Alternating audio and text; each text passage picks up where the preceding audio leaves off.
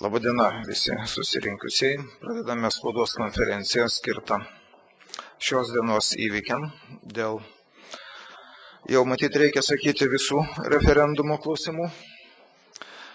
Dalyviai Jonas Ginteras Eleknavičius, referendumo iniciatyvinės grupės narys ir, ir Ginteras Songaila, kuris yra ne tik kolega Sąjūdžio iniciatyvinės grupės narys, bet ir Laisvės liepsna akcijos vienas iš organizatorių.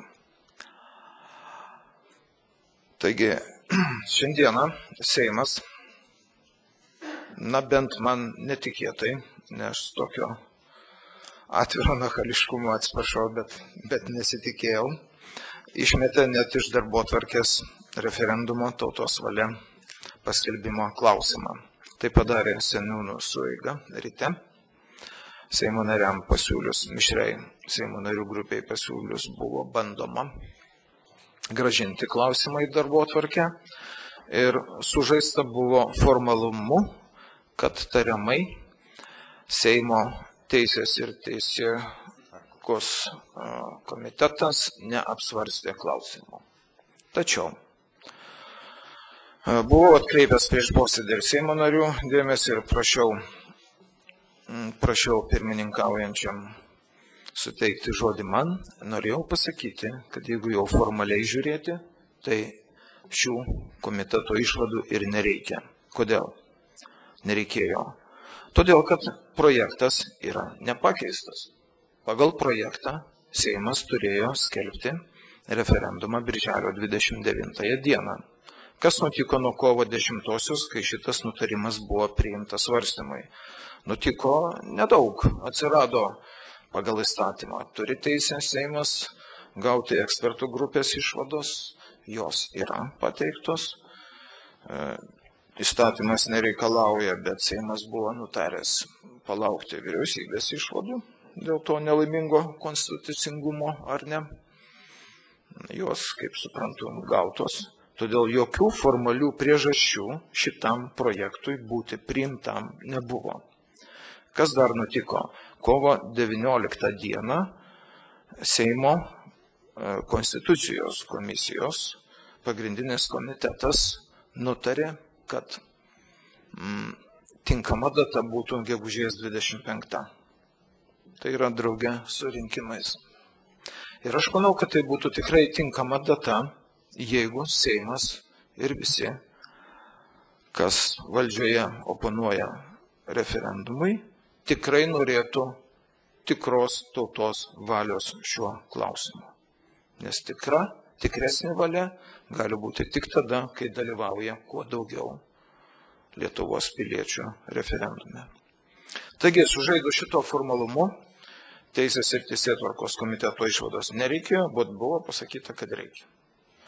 Julius Sabatauskas, šio komiteto vadovas, atėjo ir pasakė, seniūnų sueigoje, kad štai dėja nėra tokių išvadų naujų.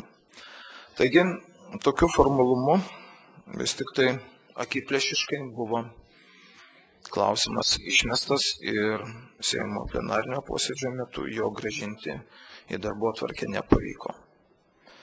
Nepavyko netgi įterpti jau priimto svarstymui taip pat Seimo nario Petro Gražulio referendumo projekto e, buvo siūloma, kad gegužės 25, nu jeigu jau šitas nepavyksta, klausimas negražinamas į darbo tvarkę, tai bent referendumo kartelės sumažinimo iki 200 tūkstančių referendumas. Ir šitas klausimas buvo išmestas. Ką tai reiškia? Tai reiškia vieną ir akivaizdų dalyką, kad valdžia ne tik bijo tautos valios, bet ir šiurkščiai pažeisdama įstatymus ir jų reikalavimus vilkina. Ir aš manau, kad bandys blokuoti iš vis referendumo paskelbimą. Kodėl aš taip manau? Yra keli argumentai. Štai e, kovo 20 dieną Seimo paskirta ekspertų grupė dėl referendumo nuostatų konstitucingumo tikrinimo paskelbė savo iš, išvadas. Didžioji žiniasklaida iškart sumirgėjo, pažeidžia, pažeidžia referendumo formuluotės konstituciją. Tačiau aš vakar ramiai perskaičiau tas išvadas. Visų pirma, juose pasakyta, kad visi pagrindiniai dalykai, kurie siūlomi referendumo iniciatorių, atitinka konstitucijos reikalavimus. Išskyrus keletą vietų.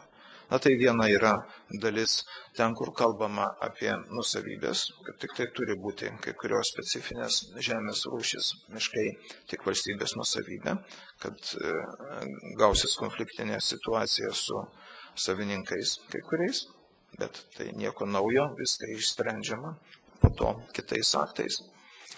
Ir antras e, klausimas buvo kad referendumo formuluotės kai kurios netitinka stojimo į ES akto, konstitucinio akto, kuris yra konstitucinė, mūsų konstitucijos dalis ir konstitucijos kaip po visumos. Tai paneigdamas tuos argumentus aš pasakysiu keletą dalykų. Pirma, jeigu keičiama konstitucija, visi suprantam, kad keičiasi ir jos visuma. Jeigu keičiama konstitucijos nuostata, aišku, pataisa prieštaroja tam, kas yra keičiama. Trečias dalykas, jeigu kalbame apie mm, klausimą dėl atitikimo konstituciniam aktui dėl Lietuvos stojimo į Sąjungą, Tai šituo klausimu labai aiškiai pasisakė 2006 m. kovo 14 d. Tai yra jau po mūsų įstojimo į ES konstitucinis teismas. Svarstęs e, saugomų teritorijų klausimų reglamentavimą. Pasakyta buvo aiškiai, vis, e, visos tarptautinės sutartys Lietuvos yra aukščiau už Lietuvos teisės aktus išskyrus konstituciją. Kas neaišku, ar yra nors vienas žmogus, kuris nesuprato šioje salėje šios frazės. Visi supratom. Bet Konstitucinis teismas šiuo metu sausio 24-ąją, svarstydamas, čia Gintaras Songaila vasario 9 labai savidietiškais e, būdais tinkamai apibūdino e, situaciją, ėmė ir pasisvarstydamas Lietuvos banko mm, teisės, e, išimtinės teisės leisti mūsų pinigus klausimą, ėmė ir pasisakė, kad vis tik tai stojimo sutarties nuostatos yra aukščiau mūsų konstitucijos. Atkreipsiu dėmesį tai, kad konstitucinis teismas privalo vadovautis ir e, tokia konstitucinės doktrinos nuostata, kaip e, neturi teisės peržiūrėti savo ankstesnių konstitucinės doktrinos nutarimų. Tarp kitko, kovo 20-ąją būtent šią nuostatą Konstitucinis teismas vadovaudamasis atsisakė priimti svarstymui e, Seimo prašymą dėl jums žinomo prezidento pakso klausimo. Pasakė aiškiai konstitucinis. Konstitucija nepakeista, mes nieko naujo nepasakysim kaip konstitucinis teismas išskyrus tai, ką buvom pasakę. O šituo klausimu, referendumo klausimu, ėmė ir užmiršom. Šią, šią savo doktriną, kurią privalo vadovautis. Tai aišku, konjunktūrinis politinis klausimas, politinis užsakymas, kito sveiko paaiškinimo visi nematome. Na ir dar noriu priminti vieną dalyką. E, kokios išvados peršasi? Šiandieną, svarstant tą klausimą, referendumo klausimą, e, sumirgėjo Eligijaus Masiulio, dar kitų pasisakymai, kad mes dar turim laiko formaliai. Pirmas svarstymas buvo kovo 10, reiškia mėnesį iki balandžio 10 Seimas turi laiko dar čia pasvarstyti e, šitą klausimą ir tada mažiausiai dviejų mėnesių laikotarpis, daugiausiai trijų mėnesių laikotarpis nustatomas, nustatomas jau Seimo datai paskelbti. Tai nuo balandžio 10 ar gegužė, birželis, taip premanevruot galima iki Liepos 10 dar su referendumo data. Ir kas man labiausiai suneramino, panašu, kad ketvirtadienį plenarinio posėdžio metu darbo tvarkyje referendumo paskelbimo klausimo nėra ir jeigu jo neįtrauks, jo nebus. Tačiau jau dabar yra įtraukta kovo 27-ąją, dabar daug dievė atminties kurią valandą, pasižiūrėsite Seimo tinklalapyje.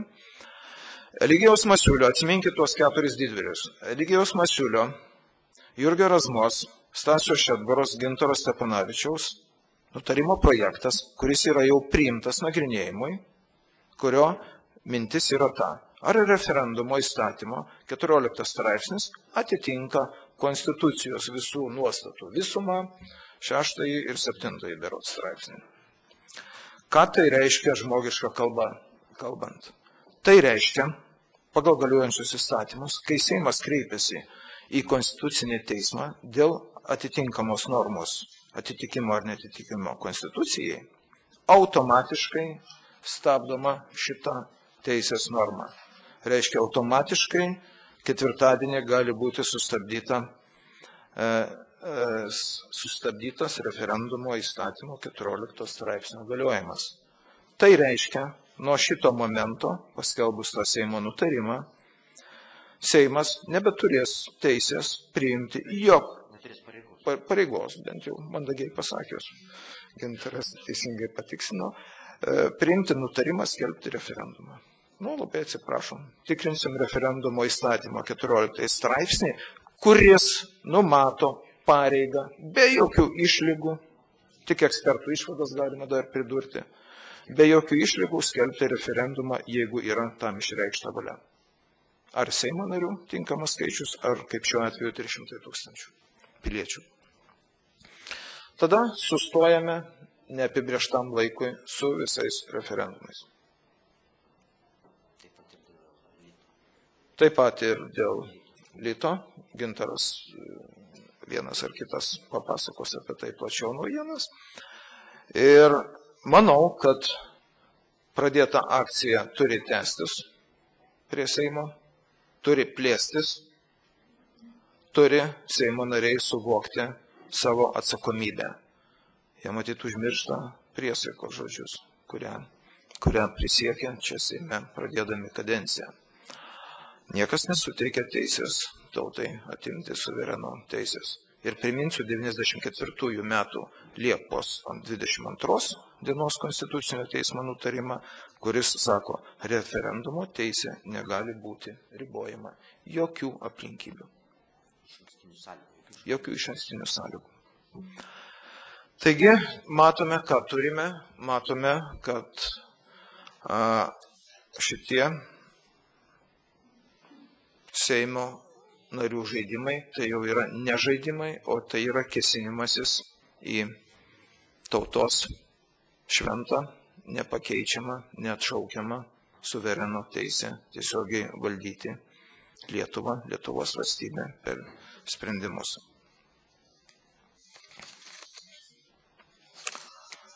Taigi tokia formali situacija. Dabar matyt gintarui gal aš sungailai suteiksiu žodį.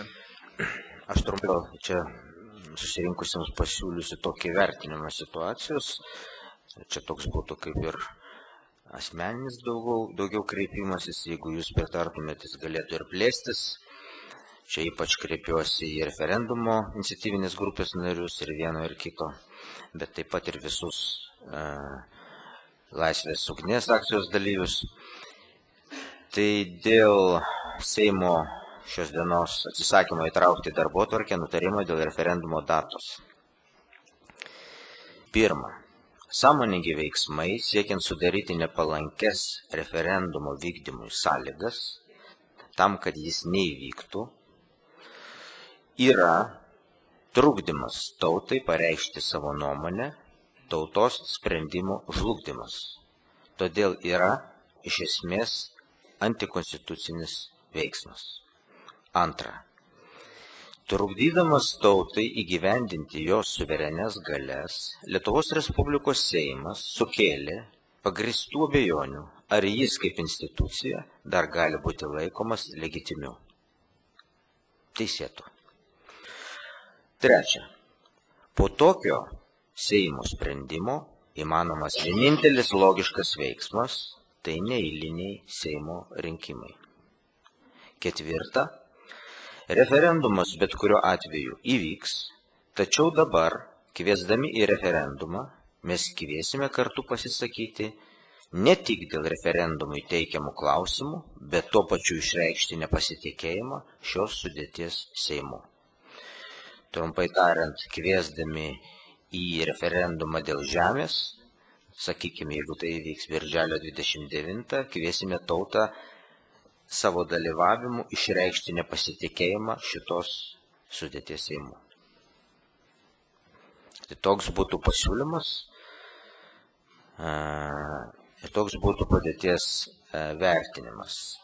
Čia galima būtų daug plėstis, kokius konstitucijos straipsnius pažydė Seimas, bet jis padarė didžiausią pažeidimą, tai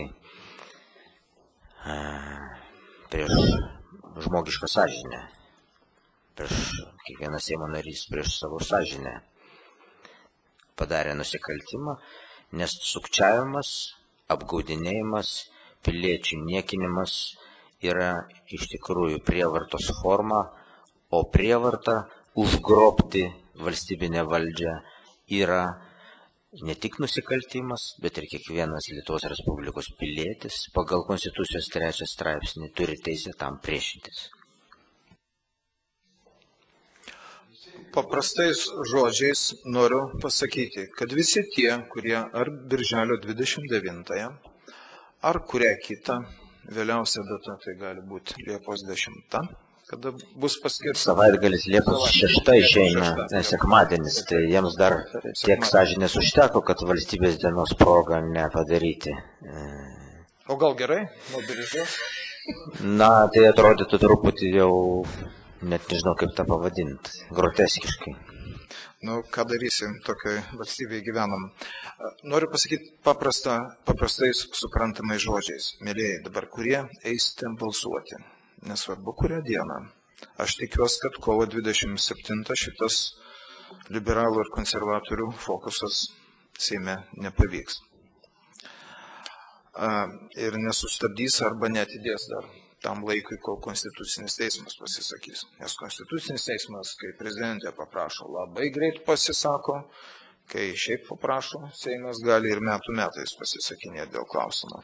Sigmai įsiterpti. Esmė tai tokia, kad į Konstitucinį teismą šitą konkretų nutarimą a, jie gali bet kada žinoma priimti, bet jie dar gali priimti ir paskelbus datą vėl kreiptis į Konstitucinį teismą. Taip kad jų dar yra planas B. Atsarginis. Dabar noriu tai pasakyti. Visi mėlyjeji Lietuvos piliečiai, kurie eisite, labai kviečiu eiti balsuoti. Kurie eisite balsuoti dėl šio referendumo. Nesvarbu, visų pirma, svarbu ateiti.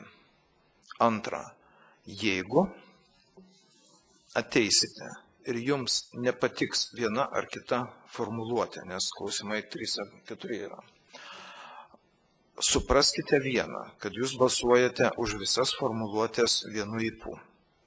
Ir kad dabar svarbiau ne mano gintaro ar jūsų kažkokia, kažkoks nepasitenkinimas dėl vienos iš tų formuluočių, kuri galėjo būti raštingesnė, geresnė, tikslesnė, ar galų galia tas šimto tūkstančių barjeras galėjo galbūt šiek tiek didesnis. Bet dabar jau yra klausimas principinis. Ar tauta apgina savo teisę į referendumą. Visi kiti klausimai, kad ir labai skaudus, ir žemės klausimai, labai skaudus, bet jie tampa dėja antraeiliais. Ir gintaras teisingai suformulavo, einame į referendumą suprasdami, kad tuo išreiškime nepasitikėjimą Seimui, bandančiam atimti iš mūsų tą teisę ir konstituciniam teismui, kurio apkaltos nuo vasario 9 piliečių forumas laukia ir jokių veiksmų neprasidėjo čia. Tai yra tai pagrindiniai svarbiausi dalykai. Dabar dar prieš perdodamas žodį gintarui e, Aleknavičiui vėloj, noriu pasakyti dėl porą žodžių dėl Kauno arkiviskupijos kunigų kreipimosi į Lietuvos piliečius. Man jau praėjusioje spaudos konferencijoje tai buvo labai skaudu išgirsti, tačiau aš noriu pasakyti ir formalią reikalo pusę. E, Lietuvos e, šventasis sostas ir Lietuvos Respublika yra tokia konkordato savoka. Tai yra šventojo sosto sutartys su valstybėmis. Tai šventasis sostas su Lietuvos Respublika yra sudarę tris sutartys. Viena iš jų vadinasi dėl santykių tarp katalikų bažnyčios ir valstybės teisinių aspektų. Pagal šios sutarties ratifikuotos ir mūsų Seime pirmąjį straipsnį, jame yra nustatyta, jog, pacituosiu, Katalikų bažnyčia ir mūsų valstybė yra nepriklausomos bei autonomiškos kiekviena savo srityje. Tai reiškia, kad bažnyčia neturi teisės kištis į mūsų valstybės politinį gyvenimą.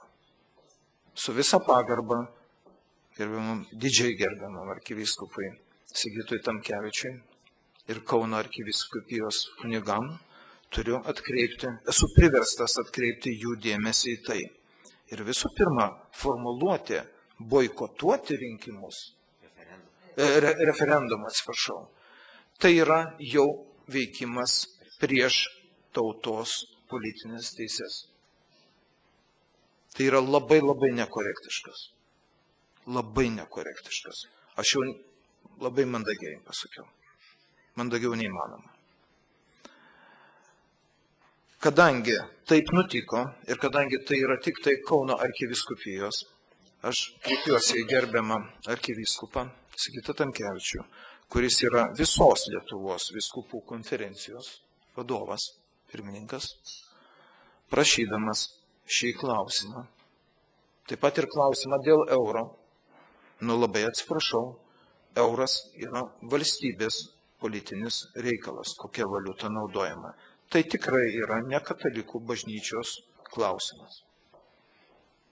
Ar litas, ar euras Lietuvoje naudojamas.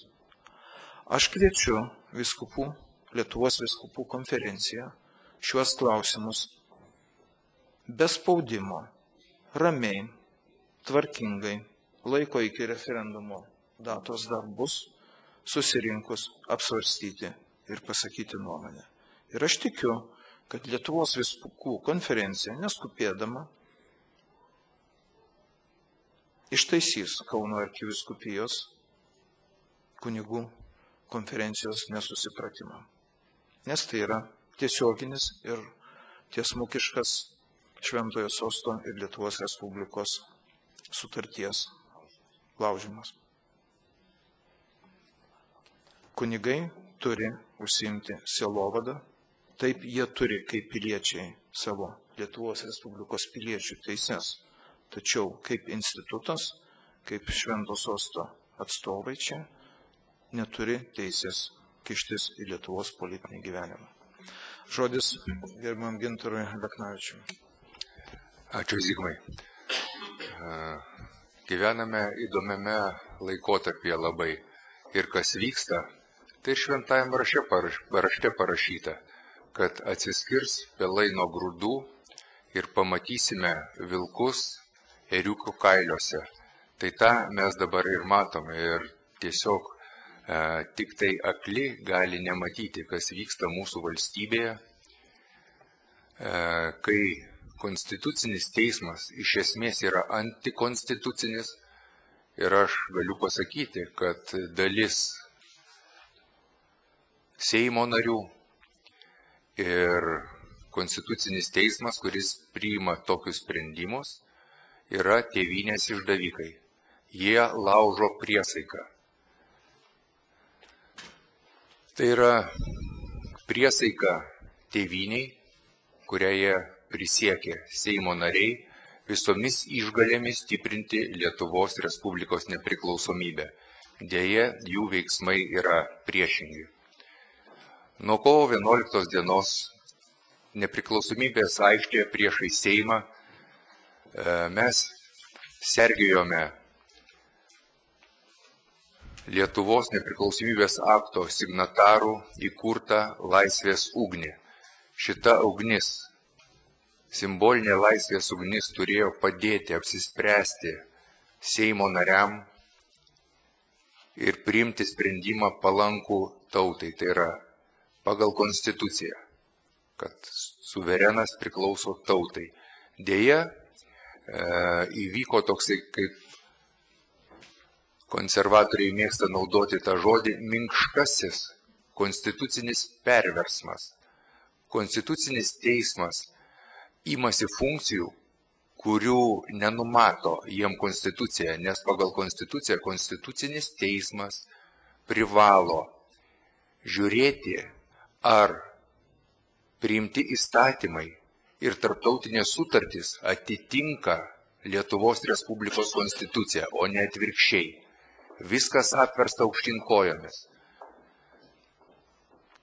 Ir būdami prie laisvės ugnies, Mes matėme, kaip e, Seimo nariai reaguoja į žmonių valios išreiškimą, kai mūsų Seimūnai, valdžios žmonės, emisarai e, lėkė į Ukrainą, į Maidaną, labai rūpinosi ten sušalusiais, šalančiais, vargsančiais žmonėmis ir dėja nei vienas iš Seimo vadovų ar prezidentė netėjo pasiteirauti, O kaip čia žmonės gyvena palapinėje? Per pugas, kurios buvo, per liūtis, per vietras. Mes stovėjom ir kurianom ugnį. Ir ši ugnis šiandien iškeliauja į įvairius Lietuvos kampelius. Simboliškai uždegėme žvakutes Ir žmonės atvažiavę šiandien iš visų Lietuvos kampelių išsiveža su savimi šitą šventą laisvės ugnį ir ją įkurs svarbiausiai savo širdise.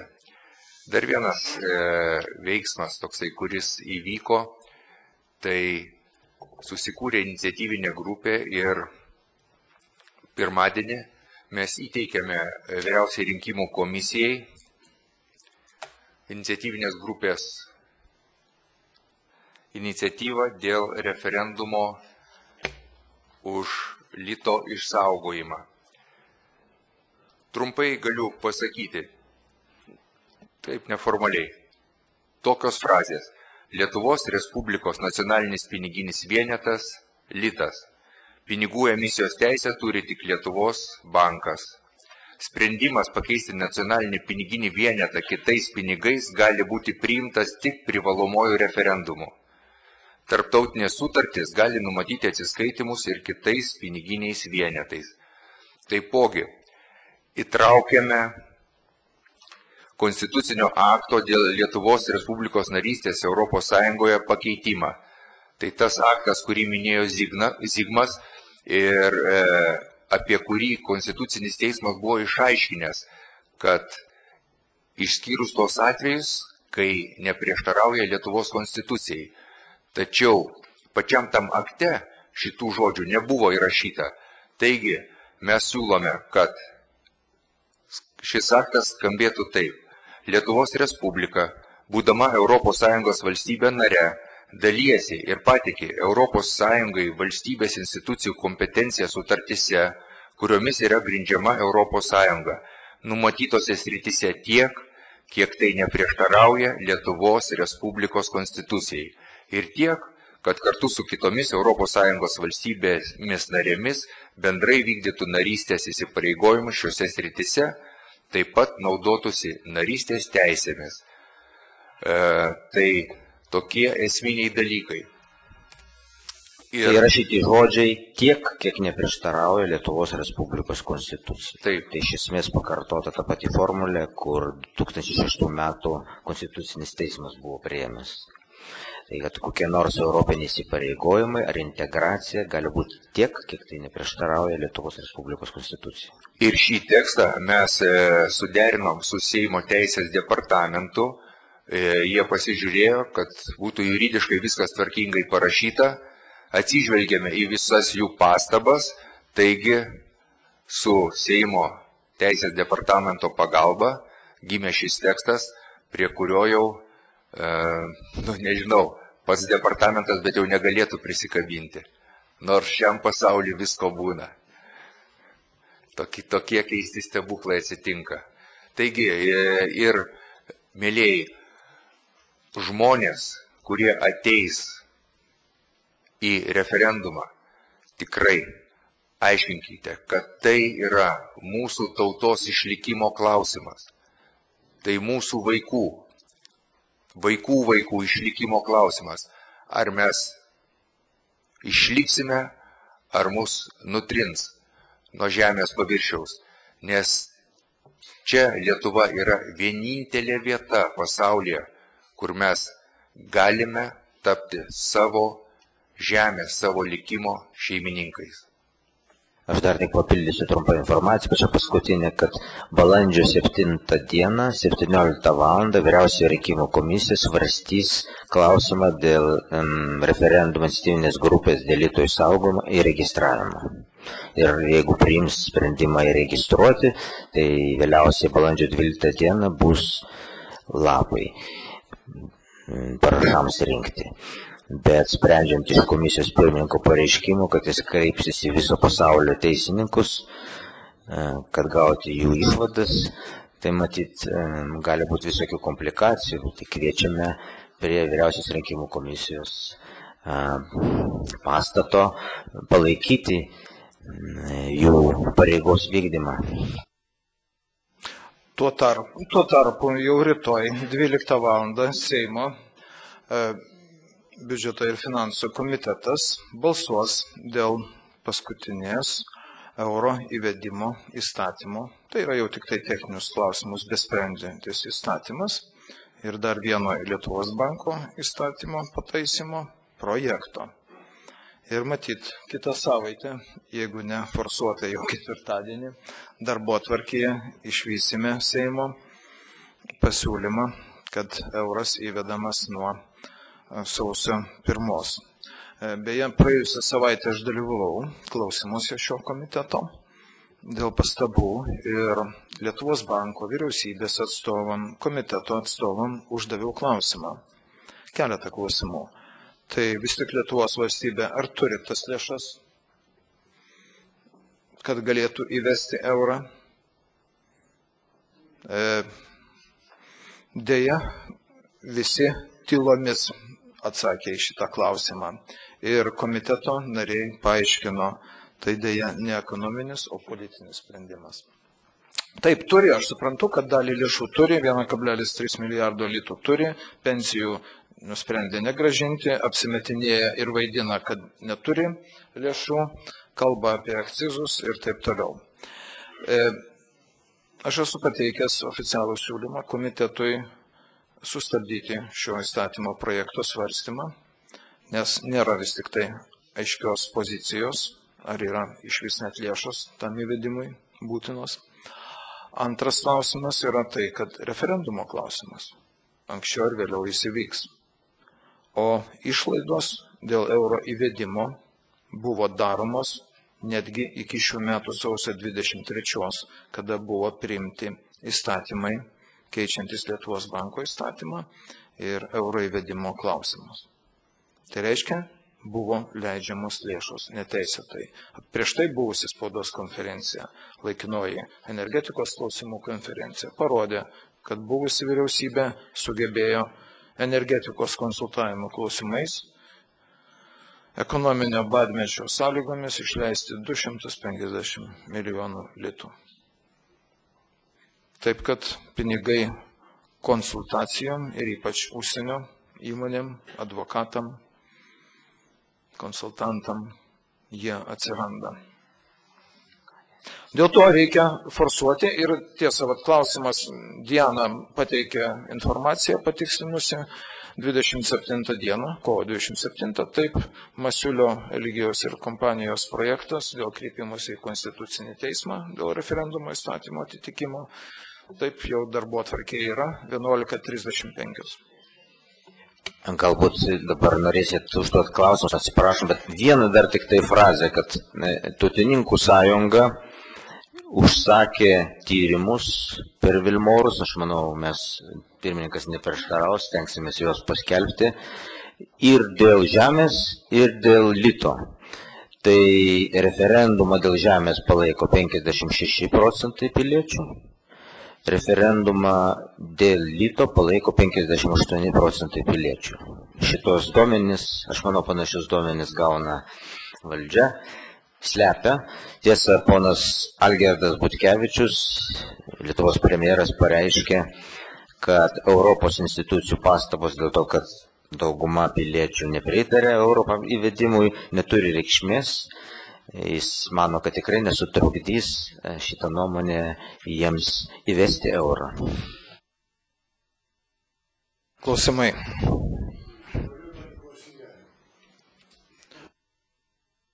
Gal jūs sėdint, tada įrašas bus ir aiškesnis garsas. Lietuvos konstitucijoje tiesiai aiškiai parašyta, kad svarbiausi tautos ir valstybės klausimai yra sprendžiami referendumu. Tai aš norėčiau sužinoti iš parlamentarų, kokiu tai keliu padaryti, nežinau, nes aš klausiau graužininės, į mane atsakė, tu man išvardyk, sakau, nors penkis klausimus, kurie būtų sprendžiami referendumu, nes taip yra numatyta konstitucijoje. Ir tik po to, a, ir, se, ir Seimas kelbė referendumą. Ir tik po to įrašyta, kad jeigu ne, tai tauta renka 300 tūkstančių parašų ir renkiamas referendumas. Tai va, ateičiai, jeigu jie sugebėtų parašyti bent penkis svarbiausius klausimus, kurie sprendžiami referendumu, mums parašų reikėtų, rinkti nereikėtų. Vienas klausimas. Antras dalykas, jeigu jau jie dabar su to žemės pardavimo referendumu nuėjo iki tokių nesąmonių, tai tuomet tai man kyla dar vienas būtinas dalykas, ką padaryti būtent šiandien, kad šitas e, žemės pardavimas užsieniečiams būtų sustabdytas bent iki kol įvyks referendumas. Ką, kaip mes galim tai padaryti? Ar nuo visuomeninių organizacijų, ar nuo, nuo, nuo, nuo iniciatyvinės grupės, ar kaip, bet šitą mes privalom padaryti. Na, aš nežinau, ar aš klystu, ar teisingai sakau. Tai Dėl, dėl, dėl referendumo, tai aš priminsiu, kad vienu klausimu Seimas buvo paskelbęs referendumą, praeitos kadencijos Seimas tai dėl atominės elektrinės.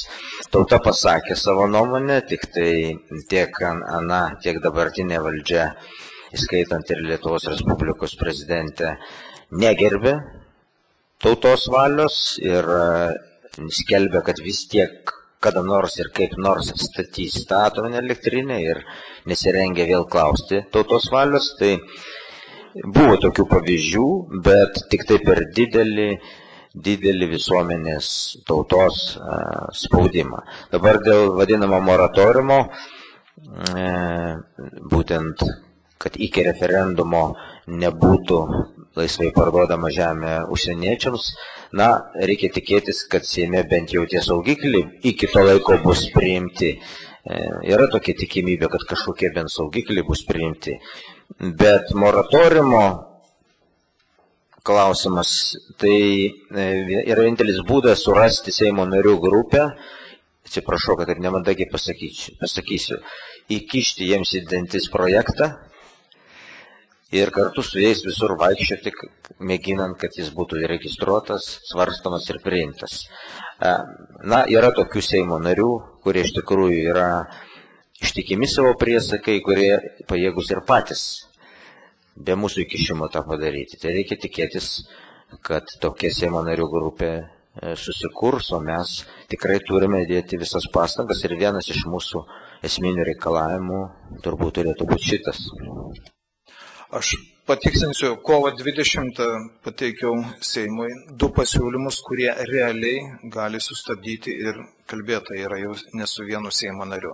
Pirma, tai Seimo kreipimasis į Konstitucinį teismą dėl Konstitucinio įstatymo, dėl Konstitucijos 47 straipsnio trečios dalies, kuria Seimas nutarė, kad galima parduoti žemę užsienio subjektam tikrinimo, ar jis atitinka stojimo sutarties aktui ir Konstitucijos dešimtajam straipsniui.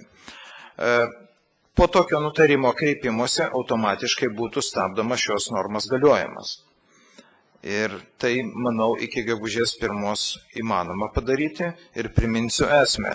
E, stojimo sutartyje kalbama ne apie pardavimą, o apie žemės nepirkimą, o įsigijimą. Įsigijimo įvairios formos mūsų civiliniam kodekse numatytos. Nuoma, panauda, uzufruktas žemės, kurios pilnai užtikrina laisvą kapitalo judėjimą, nes dėl tos sąlygos atsirado šitas reikalavimas ir atitikimas e, Konstitucijos 10 straipsniui dėl žemių teritorinio vientisumo, kurį turi ir gina mūsų Konstitucija. Tai tokio nutarimo prieimimas stabdytų pardavimą. Kitų būdų, na, kitas būdas būtų dar pasiūlytas Seimui dar kartą kreipti Seimo vardu į Europos komisiją dėl to termino atidėjimo Tarp kitko, ten irgi ir Europos komisijos, ir Seimo nutarimuose naudojama savoga ne pirkimas, o įsigijimas. Dėl tos priežasties, kad kaip stojimo sutartį buvo numatyta, nėra baigtas nusavybės atstatymo procesas. Ir išmokos nėra sulygintos, o jos turėjo būti sulygintos iki 2013 metų. Ir pati Europos komisija yra pripažinus, kad tai yra pagrista priežastis, bet Seimas kol kas mūsų žiniomis to nedaro. Tai štai dar du būdai. Aš noriu paklausti. Labą dieną. Jau buvo. Ačiū. Labą dieną.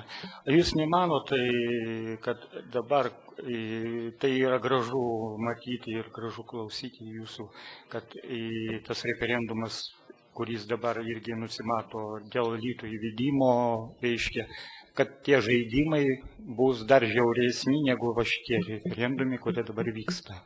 Tai čia pirmas klausimas. Antras klausimas, gal ne klausimas būtų, toks dalykas būtų. Dabar tas referendumas, mes matom, kad mums jaudavo į akis, reiškia, į, į Seimas, įžuoliai tiesiog. Ir, ir sako, pinigų yra, tai nėra tų pinigų tai mes galim nukelti, reiškia, referendumą spalį, e, lap, e, lapkritį, dar ir liepą, aišku, bet tie 14 milijonų lytų, tai reiškia, yra nešvariems dalykams. Apie pensininkus mes pamirštam ir Butkevičius sako, bus piragas, bus pinigai tai jaudiems technologijams yra tų pinigų, matom, 14 milijonų. Tai klausimas koks būtų jūsų? Čia ne klausimas, čia taip. A, tas klausimas su tuo referendumu, kur, reiškia, turėtų būti dėl lytų įvedimo, bus dar žiauresnis, aš taip manau, kadangi mes matom, kas dedasi dabar. Galiu atsakyti, kadangi nunešiau Vaigauskui šitą mūsų iniciatyvą, Ir, taip sakant, jisai tuo metu atrodė kaip žemę pardavęs. Išrasojo truputėlį. Nu, e, Rokos Dabingio paklausiau, ar jau išmoko skaičiuoti. Tai jisai sakė, kad išmoko, tai labai džiuginantis dalykas. Ir manau, kad e, dėl lito mes išmokome rinkti parašus, nors žmonės pavargo, tačiau surinksim tiek, kiek niekas net neįsivaizduoja ir nesitikė. Surinksim ne 300 tūkstančių, bet gal surinksim tiek, kad referendumo nereikėtų, kad pusė Lietuvos rinkimų teisę turinčių piliečių pasirašys už tai, kad litas būtų išsaugotas. O kad bus įvairiausių trūkdymų, nei kiek nebejojam. Žinot, e, mes stiprėjam. Kas mūsų neužmuša, tas mūsų stiprina.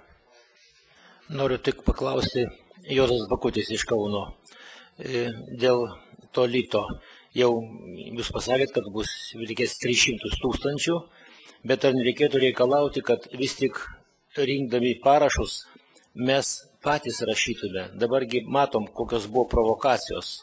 Juk buvo tokie atvejai, kad, pavyzdžiui, žmogus o, turi savo, jis pats rašo savo ranką, jis laiko kortelę, juk mes nematome tos kortelės jis gali savo sąmoningai, pavyzdžiui, ten tą numerį paims ir įrašys kelias skaičius, o tai ir kaip buvo komentuojama to, pono Vaigausko. Tai aš, ar nereikėtų kažką tokio daryti, kad jeigu mes jau einam ir renkam, juk praktiškai einam tiek žmonių praeinam ir reikia su kiekvienu kalbėtis, kiekvienam įrodinėti. Ir plus dar prie viso šito jis dar ir padaro tokią nesąmonę. Deja, čia jau nieko pakeisti bus neįmanoma, turės veikti pagal dabar esančią tvarką. Mes netgi atvirkščiai, mes turėsime stengtis, kad jie dar ko nors nesugalvotų. Prašau.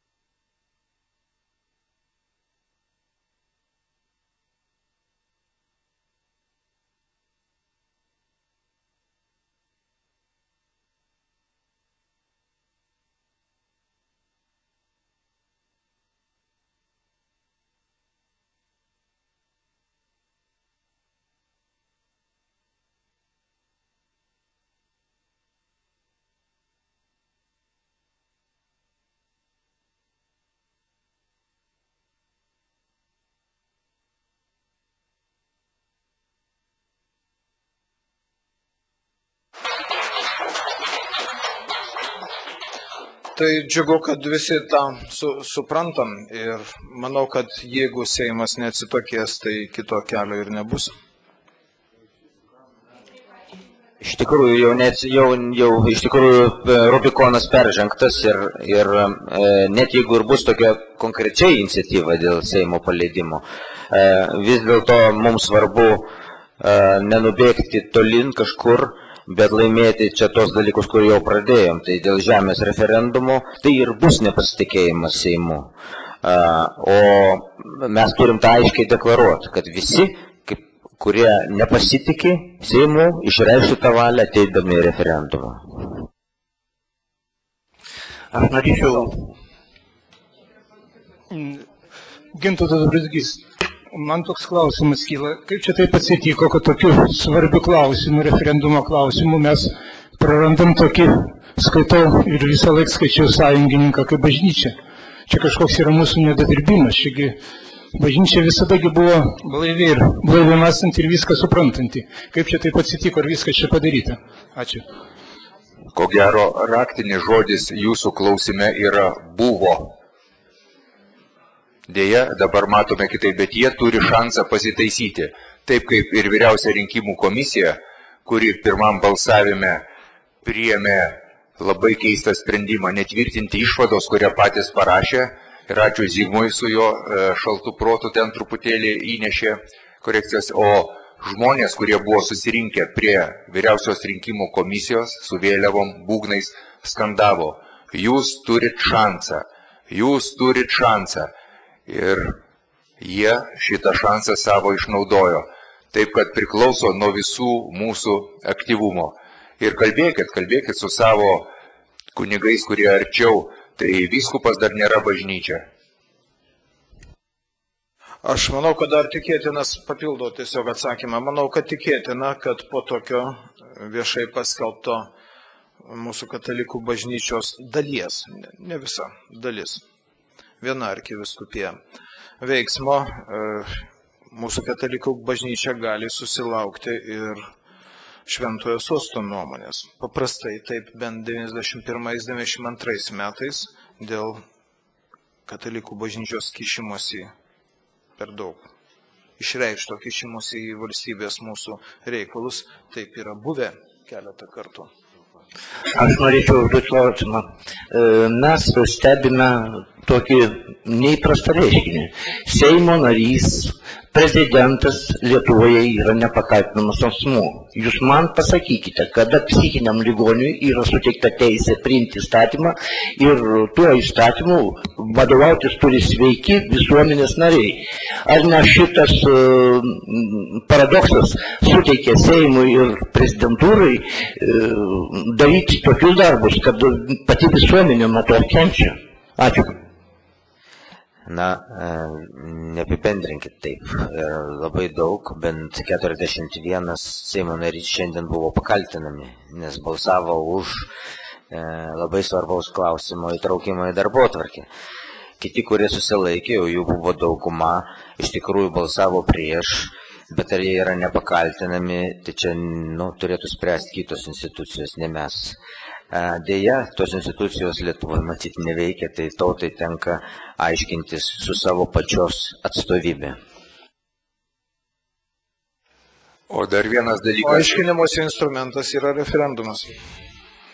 Taip, ir, ir labai įdomu, kad e, tos jėgos ir tos partijos, kurios kaltina kitas mažesnės partijas e, įvairiais dalykais, kaip rusų agentais, kaip ir ant, ant mūsų sakoma. Šiandien labai įdomus atsitikimas iš ryto buvo. E, pro šalį, pro tautos būdinimo varpą, kuris nepriklausomybės aikštėje ėjo kubilius. Ir kaip ir kiekvienam žmogui, aš sakau, labas rytas, e, galite paskambinti tautos būdinimo varpu. Jisai taip susigūžęs, nubėgdamas, sako, dirbkit, dirbkit rusam. Ir, nu, žodžiu, e, jisai nori, kad mes dirbtumėm rusam, bet nemylėjai. Mes dirbsime Lietuvai, mes dirbsime lietuvių tautai ir padarysime viską, ką galime ir dar daugiau, kad mūsų tauta išliktų. Kazis Grabys nori klausti. Pavyzdys, kad jis gradys. Aš e, 10 kovo, kadangi buvom pirmam svarstymė, buvo pateikęs e, moralinės nepriklausomybės pareiškimo projektą. Ir dabar noriu paklausti jūsų, ar e, neteina laikas jį pabaigti svarstyti, galbūt ir visuomenėje, organizacijose, ir tą moralinės nepriklausomybės pareiškimą paskelbti viešai. Tai yra atsiraboti nuo mūsų valdžios, nuo įstatymų, kurie mus žlugdo jų veikimo galios ir iš vis bendrystės su jais. Ačiū. Tarp kitko, 89 metų lapkričio mėnesį, mm, kai Lietuvos TSR aukščiausiai taryba Brazausko, Algirdo Brazausko vadovaujamai LKP persigalvojus, neparėmė estiško tipo konstitucijos pataisų, o jos buvo panašios. Tai yra dėl įs- įstatymų, vietinių įstatymų viršenybės lyginant su sąjunginiais, dėl žemės nusavybės ir gelmių nusavybės, ne centrui, o mums turėjo priklausyti. Atsisakius šitų pataisų kilo, ko gero, didžiausia pirmoji krizė santykiuose tarp sąjūdžio ir tuometinės valdžios. Ir šioje konfliktinėje situacijoje, didžiai konfliktinėje situacijoje, sąjūdis priėmė moralinės nepriklausomybės deklaraciją. Tai manau, kad situacija yra labai panaši. Ir pavyzdys yra tikrai vertas dėmesio, istorinis pavyzdys. Manau, kad toks dokumentas galėtų vienyti žmonės aiškiam susitelkimui, tėvinės gynėjus, kitaip jau ir sunku be pavadinti, vienyti prieš tuos, kurie uzurpavo tautos teisę tiesiogiai valdyti šalį. Manau, kad turėsime prie to ir grįžti. Gerbama Irena Malinauskienė. E, Norėčiau paklausti, kad baigiantis mūsų spaudos konferencijoje jūs įvardintumėt, kas dabar bus su laisvės ugnim, kas laukia jos toliau. Yra girdėta visuomenėje, kaip ir e, bręsta tokia akcija, kaip badavimo akcija, bado akcija, reikalavimų, kad būtų paskelbtas moratoriumas žemės pardavimui iki referendumo rezultatų. Tai prašom atsakykit, kad žmonės žinotų, kaip elgtis toliau ir, ir ką galvoti.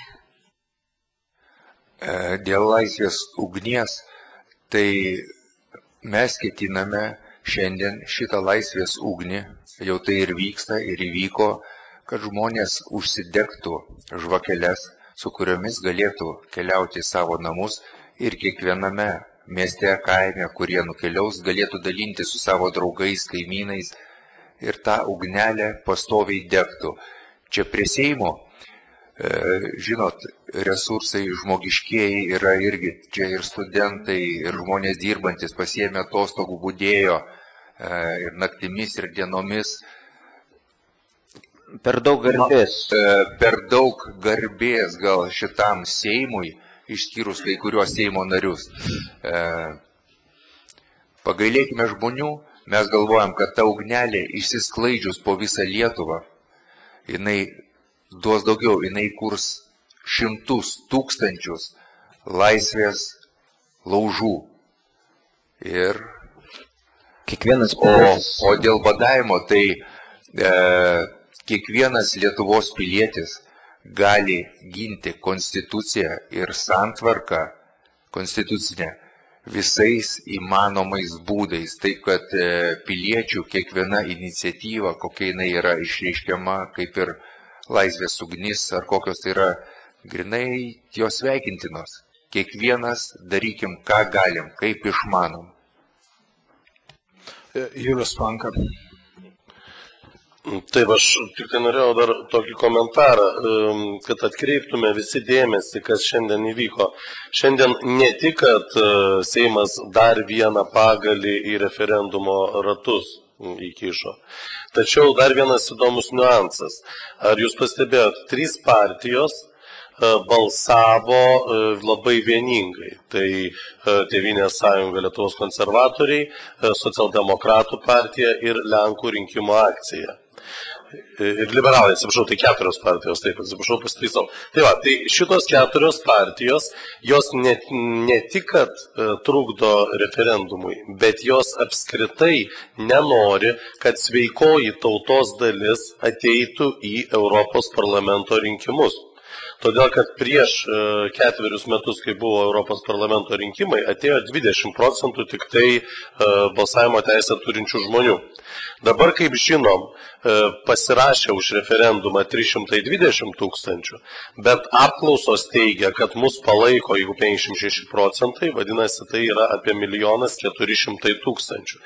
Šie žmonės nusivylę, kad Seimas nepaskyrė referendumo kartu su Europarlamento rinkimais, gali tiesiog boikotuoti Europarlamento rinkimus. O dabar jau e, Vilmorus paskelbė duomenis kaip tik vakar, kad socialdemokratai vieni aktyviausių priešininkų jau matuojasi tris Europarlamento kėdės, konservatoriai matuojasi dvi kėdės, e, Lenkai ir liberalai dar po vieną. Vadinasi, daugiau negu pusė mūsų, sakykime, išrinktųjų jau pasimatavo savo kėdės ir jie džiaugsis, jeigu mes neateisim. O mes padarykim jiem, toks yra negražus žodis, pavartosiu zapadlo. Ateikim visi ir nerinkim va šitų brūdų, kad jie neišvažiuotų ir į Briuselį, kaip sakant, nepasislėps jie nuo tautos niekur. Ačiū. Ja- ja- jauni- Jaunimo išversiu žodį e, šunybė, gal lietuviškai taip. Bet aš manau, kad vis tik, kalbant rimtai, bus antras prezidento rinkimų turas ir bus tinkamas tautos aktyvumas. Antanas Anziulis. Ačiū. Norėčiau šitas keturias e, Seimo narių grupės turbūt pavadinti Tevinės pardavėjų sąjunga ir pasakyti, kad, nu, jie tokie yra ir jie tą daro. Dabar kitas labai svarbus dalykas, vis tik tai dėl ko mes pakilome, mes pakilome dėl to, kad tėvinės žemė, tėvinės teritorija nebūtų išparduota ir nežinia kaip išskaidyta, išsklaidyta. Ir referendumas yra kaip ir instrumentas, priemonė, kurią mes, kurią mes turime įtvirtintą konstitucijoje kaip teisėtą priemonę, legalią priemonę.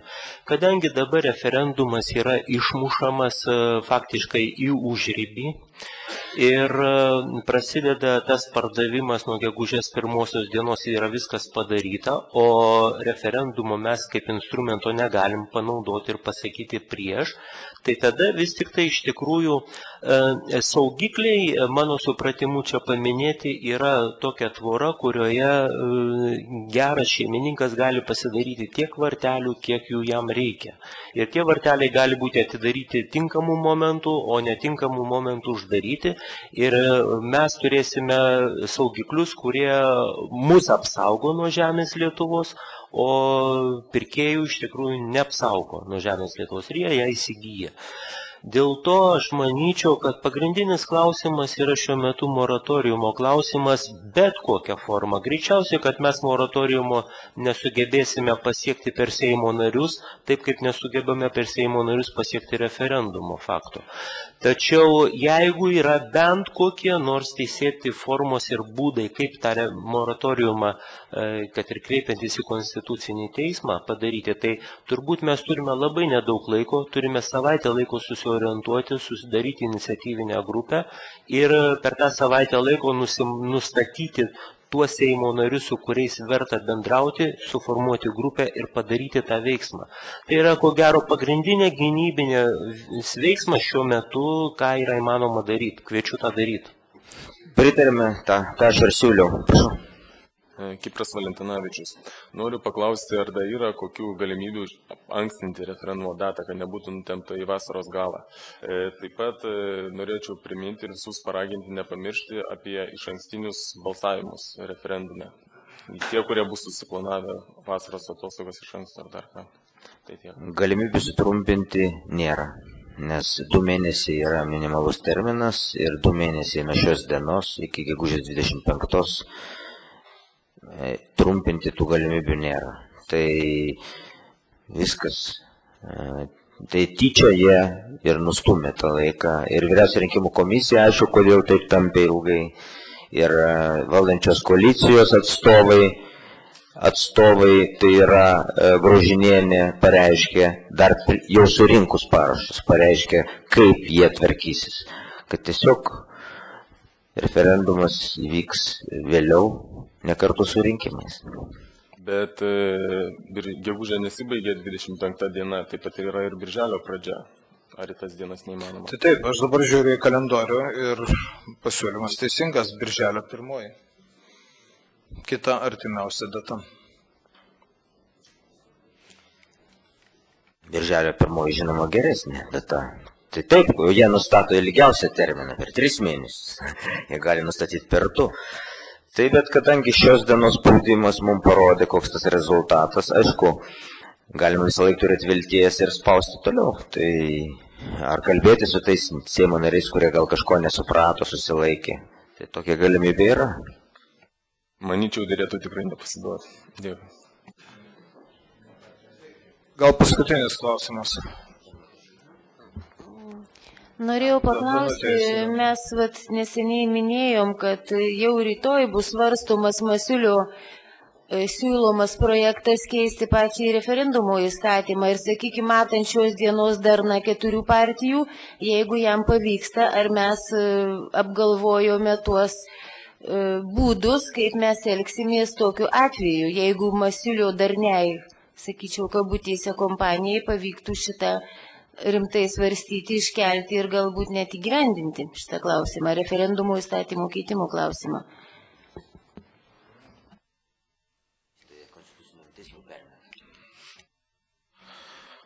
Klausimas teisingas, bet dabar jau bijau, bijau ką ir pasakyti. Paaiškinta ir raštu pateikta. Viskas yra padaryta, kad taip negali būti. Bet jeigu šitas buldozeris keturių frakcijų suveiks, suveiks tai tada beliks tik atsi- atsiminti Mao Dzeduną, kuo blogiau, to geriau. Tada gal visiems bus aiškiau. Be abejo, turim padaryti viską, kad tai ketvirtadienį nenutiktų 11.35. Šiaip ar taip jie neišdrįsta patys keisti to straipsnio, o permeta į savo, kaip sakant, paklusnų įrankį konstitucinį teismą. Tai matyt, mums reikės atkreipti didesnį dėmesį ir e, sugalvot kažką, visuomeninės kažkokias akcijas prie konstitucinio teismo. Man atrodo, kad atėjo metas kažkaip tai, dabar vis Seimas dėl visko kaltas, bet to konstitucinis teismas, kuris jau yra, kaip teisingai pasakyta, antikonstitucinis, kažkaip tai nušaly lieka. Tai reikės mums pagalvoti, matyt, tai bus tikrai labai svarbus momentas, kai konstitucinis teismas svarstys šitą klausimą. Ži- Žiūrėkit, bet vis tik jeigu, jeigu mes čia susirinktumėm, pavyzdžiui, ketvirtadienį plenarnio posėdžio metu, visada yra daug žurnalistų koridoriuje su plakatais. Negalima viduje. Ne, ne salėje, ne salėje, koridoriuje. Atima viską. Atima. Negalima. Tai 75 jiem per km nuo Seimo galima, o Seime negalima. Tai Jos yra taisyklės, taip, ir tikrai atims. Aš esu pats bandęs. Galiu pasakyti, kad mes e, su laisvės ugnim ir renginiu praplėtėm šitos truputėlį toleranciją ir priartėjom prie Seimo jau maždaug iki ko- kokių taip šiandien 50 metrų. Tarp kitko, būdėję pareigūnai, kurie žiūrėjo e, mūsų renginį, aš su jais pakalbėjau, jie lygiai taip supranta mūsų siekį. Jie labai taipogi sunkiai gyvena, atlyginimai maži, darbas sunkus, tik tai jiem įdėkta, kad nuo jų niekas nebepriklauso. Jie netiki tuo. Tai kai kuriuos atrenimavau, žodžiu, reikia telktis visiems, visom profsąjungom, pareigūnų profsąjungai, galų gale Lietuvos kariuomeniai yra labai dorų žmonių, kurie myli savo tėvynę. Tai aš taip, taip gerbiamas Žiūrinskas.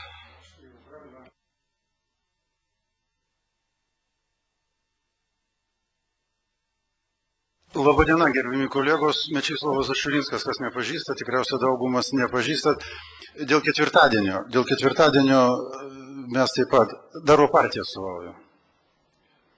Rusų agentai. Reiškia, kaip sako, tai dalyką aš pasakau todėl, kadangi tiesioginė transliacija ir vyksta ir paskui mūsų tą posėdį transliuos maždaug šešis kart. Tai, tai visuomenė tikriausiai kažką tai išgirs. Dėl ketvirtadienio mes pasisakysim prieš ir mūsų frakcijos vadovai seniūnų suėgoj, žino kolegos, prieš tai seniūnų suėgoj bus, reiškia taip pat pasisakysim prieš ir bandysim įtikinti, kad, kad, kad nenoriu aš minėtų pavardžių, nes kiekvienas pavardės minėjimas tai yra reklama, jiems ir jums nerekomenduočiau. Reiškia, kad šitų žmonių įstatymo tas projektas, nutarimo projektas nebūtų, nebūtų jam pritarta. Tai pirmas dalykas. Antras dalykas, ką noriu pasakyti, aišku, aš noriu jūs labai nuoširdžiai pasveikinti visus. Jūs padarėt fantastišką darbą. Tai, ką jūs padarėt ir surinkot virš 300 tūkstančių parašų, tai čia yra neįmanomas dalykas.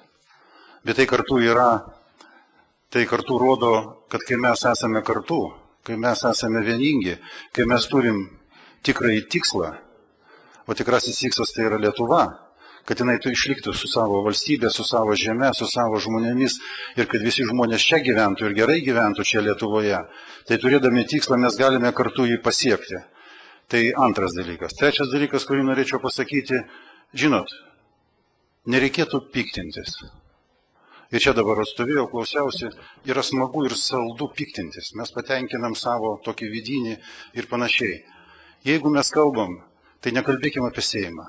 Seimas yra tautos atstovybė, tai yra jūsų atstovai Seime. Jūs juos išrinkot. Jūs, tie 300 tūkstančių žmonių, minutėlė, tie 300 tūkstančių žmonių balsavot, gal ne visi 300 tūkstančių balsavot, bet jeigu aš dabar padaryčiau eksperimentą, kuris galbūt prieštarautų konstitucijai, nes balsavimai yra slapti, paprašyčiau pakelti rankas, kas už ką balsavot. Praeitoj kadencijoje Vagintaras buvo, mane susitikimuose gyventojai labai norėjo, kad aš blogai kalbėčiau apie vadinamus valinskiečius. Aš sakau, aš negaliu nei apie karalių, nei apie Sacharuką, nei apie Valinską šnekėti blogai, nes juos išrinko tauta, už juos balsavo 180 tūkstančių žmonių. Prie ko aš vedu, apie ką aš kalbu? Aš kalbu apie praktinius veiksmus, vad kolega dalinai palėtė tą klausimą. Nei vienas žmogus į Seimą nepateko taip, kad negavo bilietų į kiną ir atėjo į Seimą. Ne, už visus balsavot jūs. Ne jūs esantys šioje salėje, bet jūs, kurie dabar klauso mūsų ir e, eteryje. Suprantat? Todėl mes turime labai galvoti, ką mes renkam. Ar tie žmonės, kurie jūsų yra renkami, ar jie atitinka jūsų požiūrį į gyvenimą, į valstybę, į vaikus, į šeimą, į žemę, į bet kurį tai kitą dalyką. Čia yra pats pagrindas. Ir dabar aš tai siūlyčiau koncentruotis, 300 tūkstančių balsų čia yra nepaprastai didelė jėga. Jūs galite daug ką pakeisti. O dabar atėjo rinkimai. Nu, ką atėjo rinkimai, žinot, netikėtai rinkimai vyksta kiekvienais metais. Šiais metais vyksta rinkimai į Europarlamentą, tai yra nepaprastai svarbu. nes Europa mums primeta tokias žaidimo taisyklės, dėl kurių mes priešinamės, bet priešinamės kaip ir priklauso tikram lietuviui tyliai, prie arbatos podelio ar dar prie ko, bet viešai negalim to išsakyti. Išimtys esat jūs, nes 300 tūkstančių žmonių tai buvo viešas rinkimas. Yra sekantis rinkimai, tai yra valstybės vadovų rinkimai, sekantis rinkimai yra savivaldos rinkimai ir dar sekantis rinkimai yra Seimo rinkimai.